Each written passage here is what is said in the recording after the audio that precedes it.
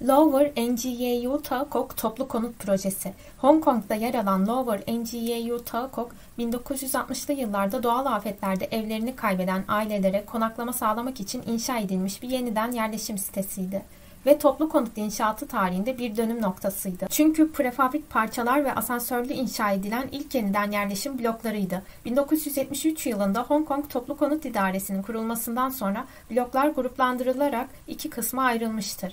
Yeniden yerleşim bloğunda 1950'lerde inşa edilenlerden farklı olarak daha geniş koridorlar ve çeşitli büyüklüklerde müstakil daireler bulunmaktadır. Bloklarda uzun koridorlarla birbirine bağlanmıştır. Bu tasarım komşuluk duygusunun gelişmesine yardımcı olmuşken her bloğu çevreleyen çarşılar ve dükkanlar bulunması nedeniyle orada yaşayan ve çalışanlar eski siteyi ziyaret eden birçok insanın yarattığı sıkıntıdan şikayet etmişlerdir.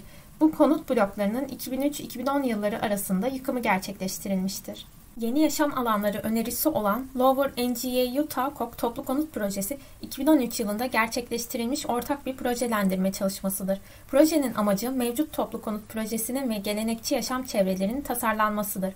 Bu proje konut bölgesinde yaşayanlar ve yürütücü bir mimar ile birlikte yerel halkın gelecekte kullanacakları yaşam alanları hakkında bilgi sahibi olma talepleri sonucu gerçekleşmiştir. Dolayısıyla kullanıcı bu süreçte görüş, beklenti ve deneyimleri ile ön plandayken Mimar, kullanıcılar üzerinden veri sağlayan ve analiz eden bir rol üstlenmiştir.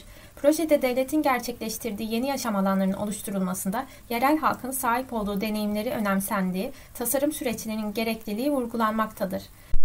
Tasarım sürecinde sosyal anlamda katılım, karar sürecine tepki olarak başlamış, yerel kullanıcılar yaşam alanları ile ilgili alınan kararlara örgütlenerek tepki göstermiş.